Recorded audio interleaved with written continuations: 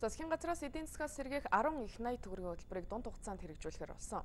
Хөтөлбөрийн хүрээнд жижиг дунд үйлдвэрлэгч нарт 3% нэн хөнгөлтэй зээлийг гаргахаар болоод байгаа. Энэхүү зээлийг арилжааны банкар олгоно.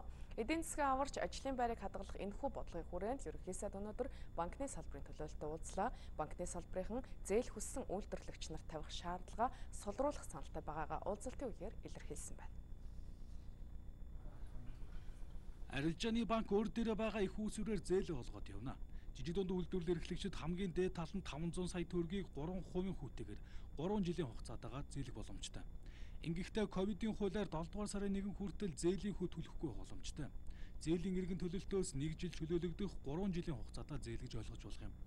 Энэ зээлийг банк олгох учраас хэн нэгэн хүний харин хаалга танил талаараа зээлийг авах боломжгүй. Хамгийн гол нь ажлын байраа хадгалж тогтмол үйл ажиллагаа явуулж өмнөх жилүүдэд аж ахуй нэгжийн орлогын албан дотор болон нийгмийн даатгалын шимтгэлээ тогтмол төлсөн ямар нэгэн татварын өргөө аж ахуй нэгжүүдийг хамруулна.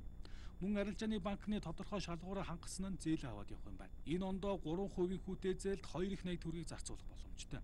Арилжааны банкнуудын тухайд өөрсдийн эрсдлээ тооцоолж зээлээ олгоно эрүүл мэндэд дэмжсэн эрүүл мэнд нь эдийн засгтай холбоотой гэдгийг энэ хөтөлбөрийн нэр нь хүртэл хилээд өгч байгаа юм.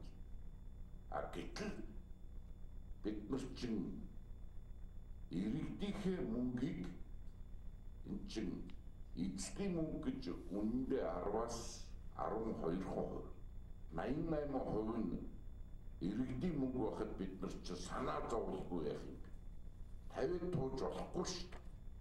Тэр зэрэг энэ залтан дээр бүгдээрээ очоод нэлээд олон тайрагдсан шүү гэдгийг э, одоо ерөнхий сайдыг бичлэн байгаа дээр нь урьдчилаад бодит өмнө хэлжсэн дээр баг.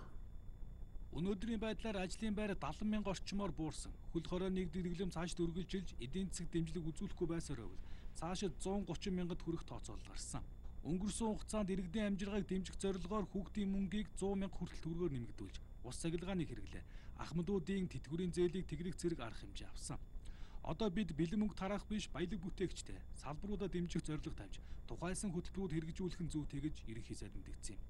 Хоёр их найдаар жижиг дунд үйлдвэрлэлийг дэмжих зээлийн хүрээнд үйлдвэрлэгчид арилжааны банкнаас зээл авахын тулд барьцаа хүрэн хэрэгтэй болно зээлдэгч барьцаа хөнөнгө нь хүргэлцэхгүй тохиолдолд зээлийн батлан даалтын сан барьцааны 60% нь баталгаа гаргах юм.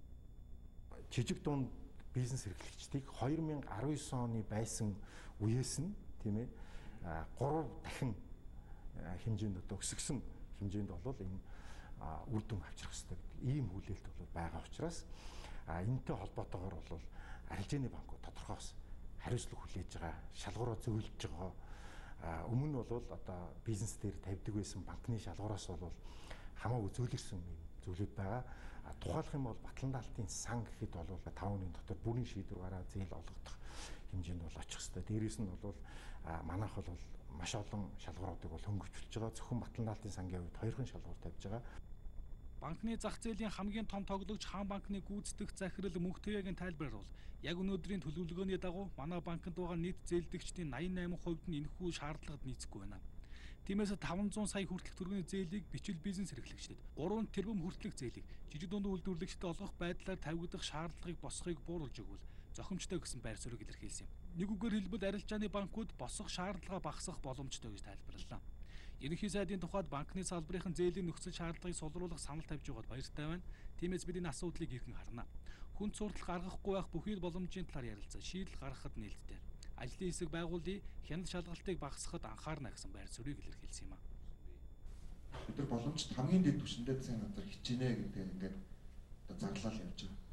Банкны салбарын гэсэн би нэг зүйлийг бас одоо засгийн газрын тэргүүний хувьд бас чадлаараа хичээнэ гэдгээ хэлж чадна Тэр бид гинт харахгүй. Тэрөө бид нар одоо жишээ нь үнхээр өвчин хүндрээд амаргүй нөхцөлөд үүсвэл бид нар тэдэн цагийн тэднээс тэдэн цагийн тэдэнд тийм хугацаатай ханаа гэдгээ урдчилж хамгийн бага 14 оны өмнө зарлана. А тэгэхгүй ингээд нөгөө нэг та төлөвлөхөд ямар ч тийм боломжгүй бас ийм нөхцөлөд төр өөрөө үүсгэж болохгүй л гэдэг ийм зарчим л бариад байгаа юм л та. Сангийн сайдын өгч байгаа тайлбараар иргэдийн мөнгөөр иргэдийнхээ амьдралыг дэмжих гэж байгаа. 10 их найдын төлөвлөгөө банкудаас баланс дээрээ шууд ашиг авчрахгүй банкудад өөрсдөд нээлттэй. Банкнд хамгийн үн цэнтэй зүйл бол харилцагч. Эдийн засгийн хямралыг даваад гарсны дараа банкнд хамгийн сайн харилцагч бий болно гэсэн тайлбарыг өглөө. Одоо байгаагаа судалгаагаар 48 мянган аж ахуй нэгж байгаагаас 27 мянган 3% хүүтэй зээлд хамрагдах нөхцөл шаардлагыг хангаж байгаа гэсэн тооцоо гарсан байна.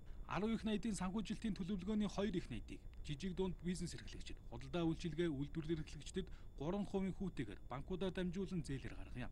Зээлийн зөрүүг төрөөс тая гэж тооцоолоод байгаа байлаа.